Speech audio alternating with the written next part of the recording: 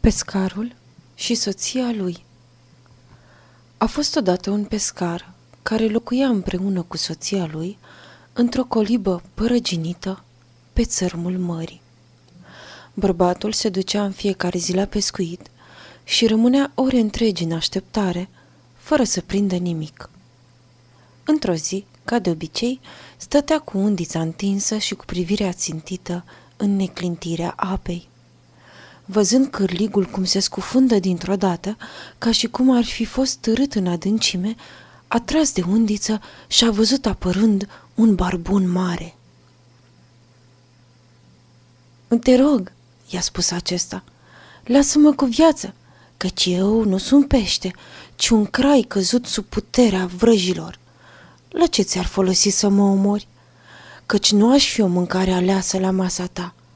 Aruncă-mă din nou în apă și lasă-mă să înnot. Nu e nevoie să mă rogi a doua oară, a zis omul, fiindcă nu am ce face cu un pește care știe să vorbească. Și l-a aruncat repede în apă limpede. Barbunul s-a dus numai decât la fund, lăsând în urmă o dâră lungă de sânge. Pescarul a pornit apoi spre colibă. Bărbate, a întrebat nevasta. Astăzi nu ai prins nimic? Nu, a răspuns bărbatul. Am prins ce e drept un barbun, dar mi-a spus că nu e pește, ci un crai căzut sub puterea vrăjilor, așa că l-am lăsat să noate mai departe, redându-i libertatea. Ha, și nu i-ai cerut nimic în schimb? L-a întrebat iarăși nevasta. Nu, a răspuns bărbatul. Ce aș fi putut să-i cer? Ah, s-a supărat ea. Cât timp va mai trebui să locuim în această colibă dărăpânată, fără de niciunele? S-ar fi cuvenit să ceri să-ți dea o casă mai bună. Haide, nu mai sta pe gânduri, du-te și cheamă înapoi barbunul. Nu mă îndoiesc că el te va putea ajuta. Cum? a zis bărbatul. Crezi oare că l-aș mai putea găsi? Hei, a răspuns femeia, tu l-ai prins și tu i-ai dat drumul în apă. El se cuvine să te răsplătească într-un fel oarecare pentru această bunăvoință. Du-te, căci nu e timp de pierdut. Pescarul nu a întrăznit să se împotrivească. Marea, de data asta, era galbenă și verde în larg. Apropiindu-se de țărm, a rostit. Barbunule, bunul meu barbun, Nevasta mea vrea neapărat să fie răsplătită cu ceva pentru bunătatea mea de a-ți da drumul. Barbunul a apărut numai decât și l-a întrebat. Și ce ar vrea? Ah, zise omul, adu-ți aminte că te-am prins mai adineauri. Nevasta mea pretinde că ar fi trebuit să-și cer ceva în schimb. Ea nu mai vrea să locuiască într-o colibă dărăpânată, râvnește să aibă o căsuță mai arătoasă. Întoarce-te acasă, a spus barbunul. Căsuța o va avea îndată. Omul a pornit spre casă, dar pe nevastă nu a mai găsit-o în colibă. A văzut însă în apropiere o casă frumoasă și pe nevastă sa, care stătea pe o bancă în dreptul porții. Văzându-l, ea l-a luat de mână și i-a spus Intră și privește! Nu mai e ce-a fost. Au intrat amândoi în casă.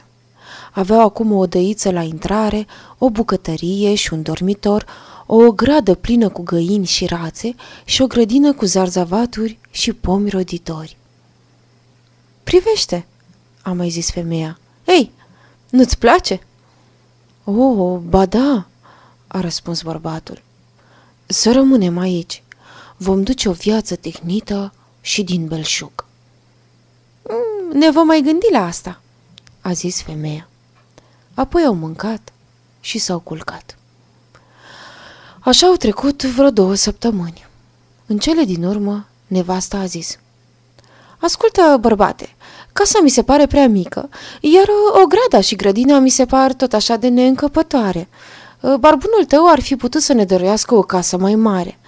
Mi-ar fi plăcut să locuiesc într-un castel de piatră. Du-te să-l chem și spune-i să ne dea un castel. Ah, nevastă, a spus bărbatul, dar această locuință este îndeajuns de mulțumitoare pentru noi. Ce vrei să facem cu un castel? Haide, a zis iarăși femeia, nu mai sta pe gânduri. Barbunul poate să facă orice. Ei, nu se poate, s-a împotrivit bărbatul. Barbunul a avut bunătatea să ne dăruiască această casă. Nu aș întrăzni să-i cer mai mult, ar însemna să-l măhnesc. Du-te, a zis iarăși femeia. Totul îi stă în putință și nu ar avea de ce să se împotrivească. Grăbește-te! Pescarul nu se simțea în stare să-și calce pe inimă, dar nici nu întrăznea să ia o astfel de hotărâre. Se gândea, nu se cuvine din partea mea să mă port așa. Totuși, de gura femeii, a pornit la drum. Când a ajuns pe țărmul mării, apa era liliachie, iar ceva mai spre larg, albastră și turburată. Vremea era însă destul de liniștită. Omul s-a apropiat și a grăit. Barbunule, dragul meu barbun, nevastă mea tot mai dorește ceva. Barbunul s-a invit îndată și l-a întrebat. Ce mai vrea? Vai, a îngânat omul cu oarecare sfială. Spune că vrea să locuiască într-un mare castel de piatră. Du-te, îl va avea numai decât, a răspuns barbunul. Pescarul a pornit spre casă, zicându-și că poate nu s-o schimba nimic din cele plănuite. Dar în locul casei era un castel înalt de piatră. Nevastă sa îl aștepta la intrare, gata să pătrundă în sălile mari. I-a luat de mână și i-a zis, Hai cu mine! Au intrat împreună în castel. La început au străbătut o sală mare, îmbrăcată în marmură. În fața lor se afla o mulțime de slugi care deschideau ușile cu zgomot. Pereții erau zugrăviți în cele mai frumoase culori.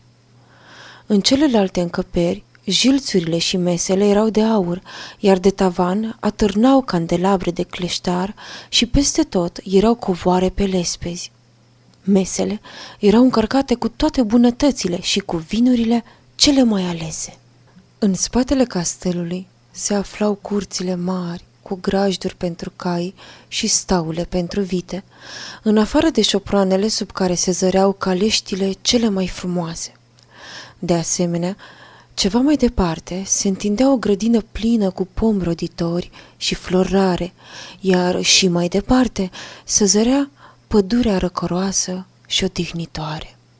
În pădure alergau cerbi și căprioare și iepuri, în sfârșit, aveau tot ce ar fi putut să își dorească cineva. Ei bine, l-a întrebat femeia, nu e așa că e frumos? De bună seamă, a răspuns bărbatul. Aici uh, vom putea trăi în cea mai mare mulțumire. Mm, vom mai vorbi noi despre asta, a rostit femeia. Deocamdată să ne odihnim. Și s-au dus la culcare. A doua zi, nevasta s-a trezit înaintea bărbatului. Se luminase bine de ziua și în depărtări se zăreau livezile încărcate de roade. Pescarul s-a frecat la ochi, în timp ce nevasta îl îmboldea cu cotul zicând Bărbate, trezește-te și privește pe fereastră. Oare nu am putea fi noi regii acestui ținut? Du-te și roagă-l pe barbun.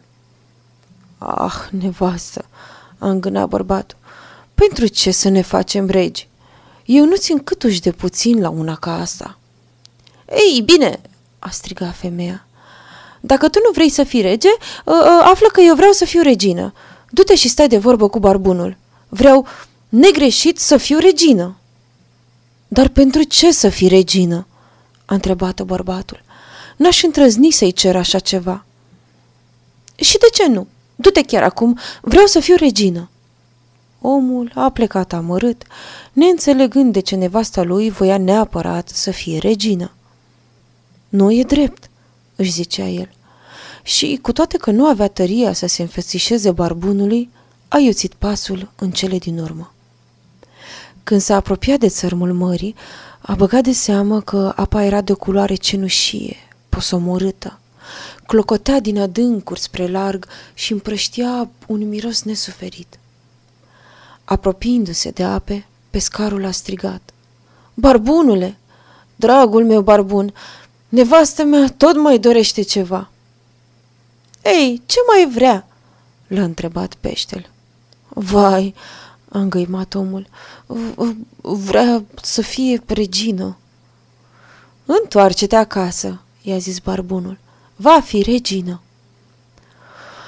Omul a pornit spre casă și când se, se apropie de castel, a băgat de seamă că era acum mult mai mare și că avea turnuri mult mai înalte și era încărcat cu fel de fel de podoabe. Ostașii stăteau de pază la intrare, iar în jurul palatului alți ostași cu surle și trâmbițe așteptau întoarcerea stăpânului. Când a trecut pragul, a văzut că totul era numai marmură și aur, că pe jos erau așternute covoare scumpe și prin unghiere se aflau lăzi de aur încărcate cu bogății. Ușile se deschideau dintr-o dată și toată curtea se afla adunată în sala cea mare, iar nevastă sa se afla pe un tron de aur bătut în diamante, purtând pe cap o mare coroană de aur, iar în mână ținea un sceptru cu totul și cu totul de aur împodobit cu pietre prețioase. În preajmă, înșirate pe două rânduri, se aflau 12 fecioare, începând de la cea mai scundă până la cea mai înaltă. Omul s-a apropiat și a spus Așadar, nevastă, ai ajuns și regină? Da, a spus femeia, acum sunt regină. Rămas uimit în fața ei, a privit-o îndelung și a spus Într-adevăr, nevastă, frumos lucru e să fii regină. De aici înainte nu ne vom mai dori nimic altceva. N-ai câtuși de puțin dreptate, a răspuns femeia cu oarecare nemulțumire. Eu mă plictisesc de moarte de nu mai știu încotro să o iau. Du-te și cheamă-l pe barbun. Sunt regină. Spune-i că vreau să fiu împărăteasă.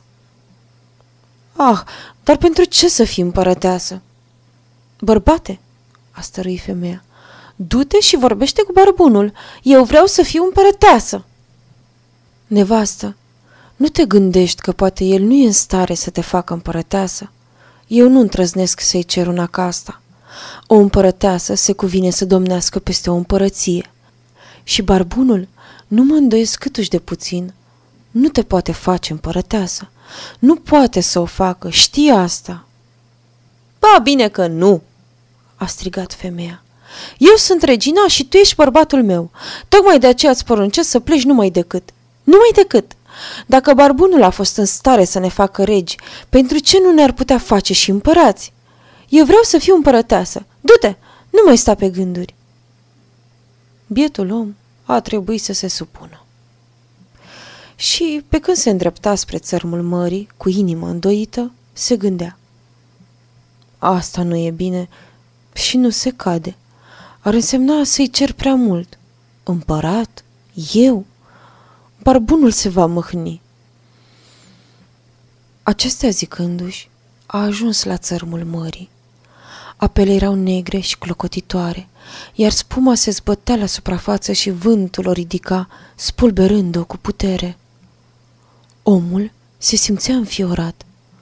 Cu greu a pășit mai aproape și a spus Barbunule, dragul meu barbun, nevastă mea tot mai dorește ceva.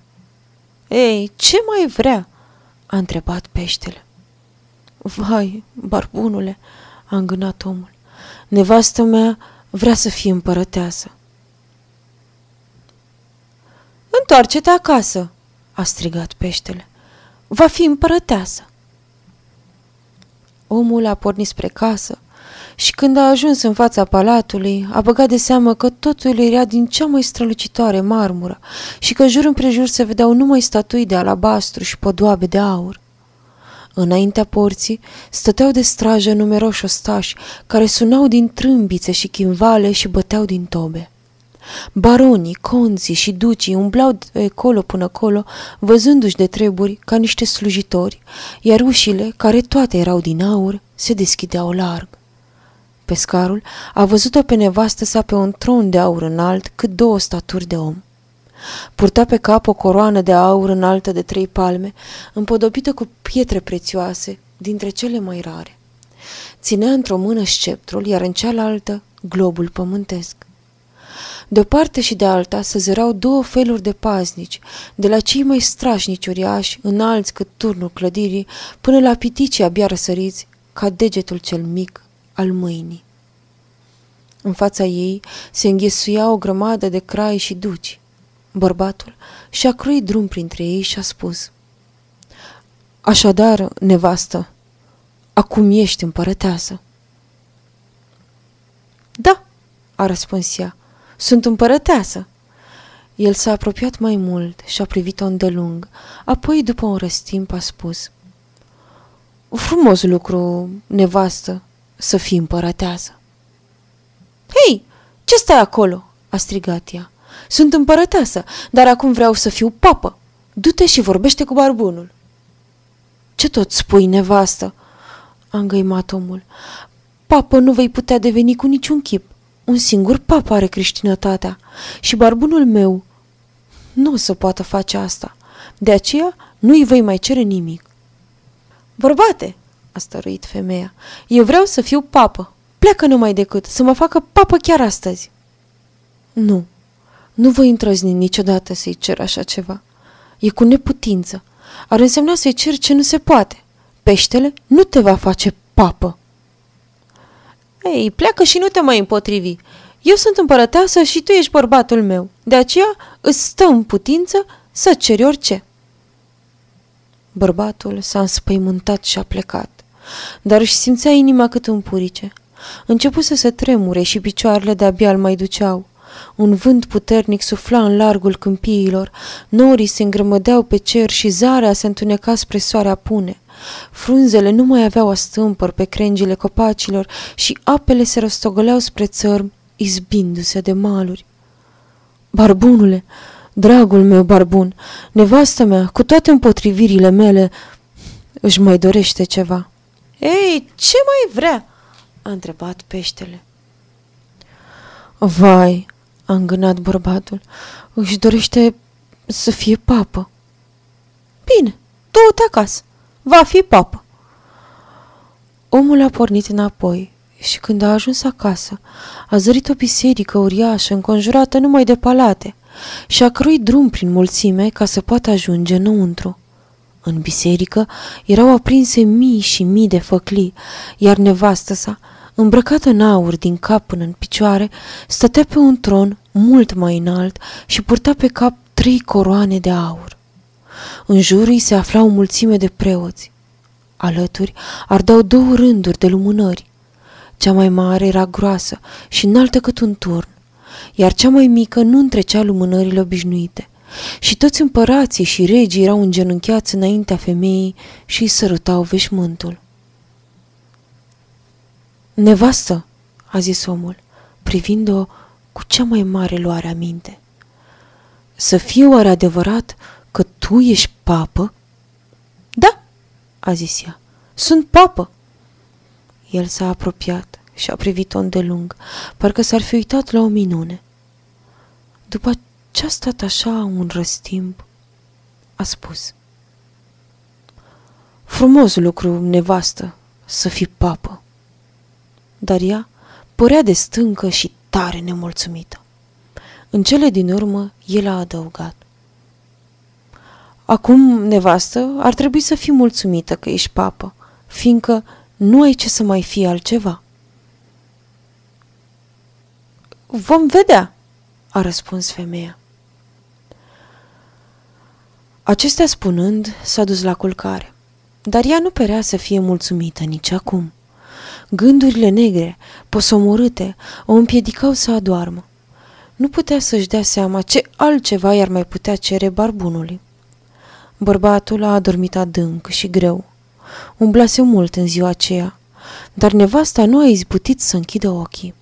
Toată noaptea s-a zvârcolit în așternut, gândindu-se neîncetat ce ar mai putea deveni, dar fără să ajungă să afle vreun răspuns. Odată cu răsăritul soarelui, s-a ridicat în capul oaselor și a privit pe fereastră. Ah! s-a gândit ea, când a văzut razele soarelui pătrăzând în odaie. Oare nu aș putea să poruncesc soarelui și lunii să apună atunci când voi vrea eu? Și îmboldindu-și bărbatul cu cotul, i-a spus ă, Scoală, bărbate, și du-te de vorbește cu barbunul. Vreau să fiu asemenea bunului Dumnezeu. Bărbatul nu se trezise bine și rămase ca trăznit, auzind-o rostind asemenea cuvinte și, de uimire, căzu din pat. Îi se părea că visase și frecându-se la ochi a întrebat Ce spuneai tu, femeie?" Bărbate," a zis ea, dacă nu voi porunci soarelui și lunii să apună și să răsară atunci când vreau eu și dacă voi fi silită să le văd răsărind și apunând atunci când vor ele, nu voi avea liniște o singură clipă, la gândul că nu va sta mie în putință să le poruncesc atunci când îmi va fi pe plac. Și rostind aceste cuvinte, l-a privit cu ochii atât de răi, încât bietul om s-a îngrozit. Pleacă numai decât, vreau să fiu asemenea bunului Dumnezeu. Nevastă, a zis omul căzând în genunchi, barbunului nu-i stă în putință să facă asta. A fost în stare să te facă împărăteasă, ba chiar și papă. Haide, gândește-te bine, rămâi papă căci îți este de ajuns atâta. Femeia s-a muniat peste măsură și i s-a făcut părul măciucă și a sfâșiat veșmintele și, lovindu-și bărbatul cu piciorul, a strigat. Nu mai pot răbda! Ceea ce mi s-a dat până acum nu mă mai mulțumește! Pleacă! Bietul om s-a îmbrăcat din pripă și a pornit la drum.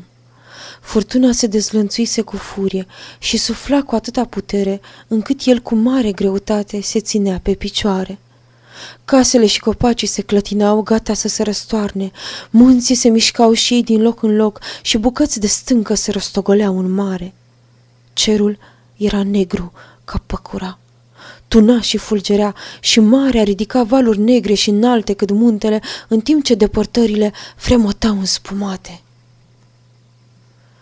A început să strige, dar abia dacă își mai auzea cuvintele. Barbunule, dragul meu barbun, nevastă mea, cu toate împotrivirile mele, tot mai vrea ceva. Ei, ce mai vrea? a întrebat peștele. Ah, zi-a zis el, vrea să fie asemeni bunului Dumnezeu. Atunci peștele a spus supărat, Întoarce-te acasă și o vei găsi desnădăjduită în pragul colibei. Și de atunci au trăit sub acoperământul dărăpânat al aceleași colibe de la început. Autori Frații Grim Lectura Maia Martin